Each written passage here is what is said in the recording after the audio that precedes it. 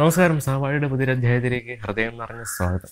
എന്താണ് super conductivity എന്ന് നമ്മൾ മുമ്പ് ഒരു വീഡിയോ ചെയ്തതാണ്. അപ്പോൾ വീഡിയോ കണ്ടിട്ടില്ലാത്തവർ മോഡലൊരു ലിങ്ക് വരും. അതിൽ ക്ലിക്ക് ചെയ്ത് കഴിഞ്ഞാൽ കാണാവുന്നതാണ്. എന്താണ് സൂപ്പർ കണ്ടക്ടിവിറ്റിയുടെ തിയറി? അടിസ്ഥാനപരമായിട്ട് എങ്ങനെ സൂപ്പർ കണ്ടക്ടിവിറ്റി സാധ്യമാകുന്നു? ഇത് പ്രപ്പോസ് ചെയ്യാനായിട്ട് ഒരുപാട് തിയറികൾ ഉണ്ടായിട്ടുണ്ട്. പക്ഷേ അതിൽ നിന്നെല്ലാം വ്യത്യസ്തമായിട്ട് ക്വാണ്ടം മെക്കാനിക്സ് ഉപയോഗിച്ചുകൊണ്ട് സൂപ്പർ കണ്ടക്ടിവിറ്റി എക്സ്പ്ലെയിൻ ചെയ്ത ഒരു തിയറിയാണ് വളരെയധികം വിജയകരമായിട്ടുള്ള ഒരു തിയറിയാണ് ബി സി എസ് തിയറി. പേര് സൂചിപ്പിക്കുന്ന പോലെ തന്നെ മൂന്ന് ശാസ്ത്രജ്ഞരുടെ പേരാണ് ബി സി എസ് തിയറി എന്നത് ബാഡിൻ കൂപ്പർ ഷ്രൈഫർ എന്ന മൂന്ന് ശാസ്ത്രജ്ഞരാണ് ഇത് കണ്ടുപിടിച്ചത്. എന്താണ് ബി സി എസ് തിയറിയുടെ കൺസെപ്റ്റ് എന്നുള്ളതാണ് ഇന്നത്തെ വീഡിയോ നമ്മൾ ചർച്ച ചെയ്യുന്നപ്പോൾ വീഡിയോയിലേക്ക് കാണാം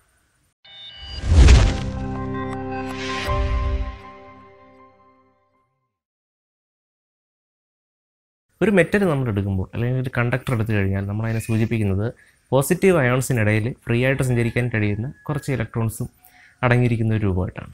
ഒരു കണ്ടക്ടറിലെ പോസിറ്റീവ് അയൺസ് എടുത്തു കഴിഞ്ഞാൽ അത് വെറുതെ ഇരിക്കുന്നതല്ല. എപ്പോഴും അത് വൈബ്രേറ്റ് ചെയ്തുകൊണ്ടാണ് ഇരിക്കുന്നത്.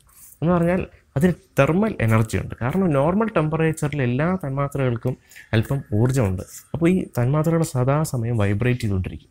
അങ്ങനെ നട അങ്ങനെയുള്ള ഒരു ക്രിസ്റ്റൽ ലാറ്റിസിലാണ് നമ്മുടെ ഈ ഫ്രീ ഇലക്ട്രോൺസ് ഉള്ളത്. നമ്മളൊരു പൊട്ടൻഷ്യൽ കൊടുക്കുമ്പോൾ ഫ്രീ ഇലക്ട്രോൺസ് ഒരു എൻഡിൽ നിന്ന് മറ്റൊരു എൻഡിലേക്ക് സഞ്ചരിക്കുന്നു. അപ്പോൾ ഈ വൈബ്രേഷൻ കാരണം മറ്റ് തന്മാത്രകളുടെ ഈ വൈബ്രേഷൻ കാരണം ഈ ഇലക്ട്രോൺസിന് സുഖമായിട്ട് സഞ്ചരിക്കാൻ കഴിയാതിരിക്കുന്നു. ഇതാണ് റെസിസ്റ്റിവിറ്റി എന്ന് പറഞ്ഞ പ്രോപ്പർട്ടി ഉണ്ടാവാൻ കാരണം. ഡി സി തിയറി പറയുന്നത് ഇലക്ട്രോൺസിന്റെ ഒറ്റയ്ക്കൊറ്റയ്ക്കുള്ള മോഷൻ കാരണമല്ല നമ്മുടെ സൂപ്പർ കണ്ടക്ടറിൽ വൈദ്യുതി ഒഴുകുന്നത്. പകരം രണ്ട് ഇലക്ട്രോൺസ് ചേർന്ന് ഉള്ള ഒരു ഒഴുക്ക് കാരണമാണ് സൂപ്പർ കണ്ടക്ടിവിറ്റി എന്ന് പറയുന്ന പ്രതിഭാസം ഉണ്ടാകുന്നത് എന്നാണ് ബി സി എസ് തിയറി പറയുന്നത്.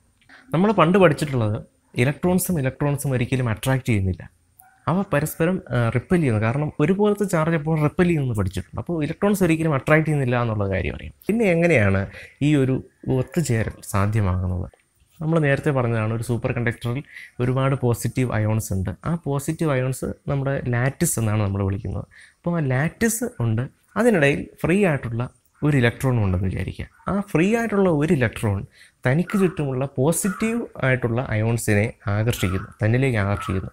അങ്ങനെ ഈ ലാറ്റിസിൽ ഒരു ഡീഫോർമേഷൻ ഉണ്ടായിക്കൊണ്ട് ആ ഇലക്ട്രോണിന് ചുറ്റും ഒരു പോസിറ്റീവ് ചാർജുകളുടെ ഒരു ക്ലൗഡ് സൃഷ്ടിക്കും അപ്പോൾ ഈ ഒരു ചുറ്റുമുള്ള ഈ ഒരു പോസിറ്റീവ് ചാർജുകളുടെ ഒരു കൂട്ടം ഈ ഒരു കൂട്ടം കാരണം തൊട്ടപ്പുറത്തിരിക്കുന്ന മറ്റൊരു ഇലക്ട്രോൺ ഇതിലേക്ക് അപ്രോച്ച് ചെയ്യുന്നു. ഈ പോസിറ്റീവ് ചാർജിലേക്കാണ് മറ്റു ഇലക്ട്രോൺ അപ്രോച്ച് ചെയ്യുന്നത്. അങ്ങനെ ഈ പോസിറ്റീവ് ചാർജിലേക്ക് അപ്രോച്ച് ചെയ്യുമ്പോൾ ഈ രണ്ട് ഇലക്ട്രോണുകളും തമ്മിൽ ഇൻഡയറക്റ്റ് ആയിട്ട് ഒരു ബോണ്ടിങ് സംഭവിക്കും ഇൻഡയറക്റ്റ് ആയിട്ട് ഒരു അട്രാക്ഷൻ വന്നു എന്ന് നമുക്ക് വേണമെങ്കിൽ പറയാം. ഒരു അട്രാക്ഷൻ കാര്യം സത്യത്തിൽ രണ്ട് ഇലക്ട്രോൺസും ഈ പോസിറ്റീവ് ചാർജുകളെയാണ് അട്രാക്ട് ചെയ്യുന്നത്. എങ്കിൽ പോലും നമുക്ക് വേ ഒരു പെയറായിട്ട് കണക്കാക്കാം. ഇതിനെ നമ്മൾ കൂപ്പർ പെയറുകൾ എന്നാണ് വിളിക്കുന്നത്. രണ്ട് ഇലക്ട്രോൺസ് ഇതുപോലെ ഒരു ലാറ്റിസിന്റെ സഹായത്തോടു കൂടി പരസ്പരം ചേർന്ന് നിൽക്കുന്നതിന് നമ്മൾ കൂപ്പർ പെയറുകൾ എന്നാണ് പറയുന്നത്. അപ്പോൾ ഈ കൂപ്പർ പെയറുകളാണ് ഈ രണ്ട് ഇലക്ട്രോൺസ് ചേർന്നിട്ടുള്ള ഈ പെയറുകളാണ് ഒരു സൂപ്പർ കണ്ടക്ടറിൽ ഉടനീളം സഞ്ചരിച്ചുകൊണ്ട് കണ്ടക്ടിവിറ്റി സൂപ്പർ കണ്ടക്ടിവിറ്റി സാധ്യമാക്കുന്നത്. അപ്പോൾ അതെങ്ങനെ സൂപ്പർ കണ്ടക്ടിവിറ്റി ആണെന്ന് ചോദിച്ചു കഴിഞ്ഞാൽ നമ്മൾ നേരത്തെ പറഞ്ഞതാണ് ഒരു റെസിസ്റ്റിവിറ്റി എന്ന് പറയുന്ന പ്രോപ്പർട്ടി എങ്ങനെ കാണിക്കുന്നു? ആ ഒരു കോറിൽ ഒരു മെറ്റലിന്റെ കോറിൽ സംഭവിക്കുന്ന ലാറ്റിസ് വൈബ്രേഷൻസ് ഉണ്ട്. അപ്പോൾ അബ്സല്യൂട്ട്ലി ലോ ടെമ്പറേച്ചറിൽ നമ്മൾ കൊണ്ടുപോകുമ്പോൾ വളരെയധികം ലോ ടെമ്പറേച്ചറിലേക്ക് കൊണ്ടുപോകുമ്പോൾ ഈ ലാറ്റിസിലെ മോളിക്യൂൾസിന് അല്ലെങ്കിൽ പോസിറ്റീവ് അയോൺസിന് ഒരിക്കലും വൈബ്രേറ്റ് ചെയ്യാൻ പറ്റില്ല.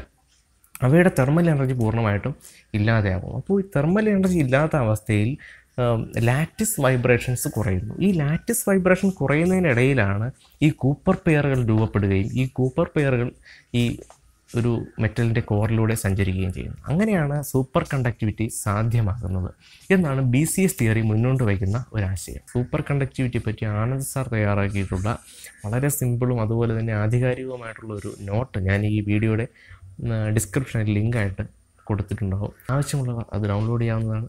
അപ്പോൾ എന്താണ് ബി സി എസ് തിയറി എന്നുള്ളതും എന്താണ് കൂപ്പർ പെയർ ഫോർമേഷൻ എന്നുള്ളത് ലളിതമായിട്ട് നിങ്ങൾക്ക് മനസ്സിലായെന്ന് വിചാരിക്കുന്നു. അപ്പോൾ വീണ്ടും അടുത്ത ഒരു വീഡിയോയിൽ കാണാം. അതുവരെ നന്ദി നമസ്കാരം.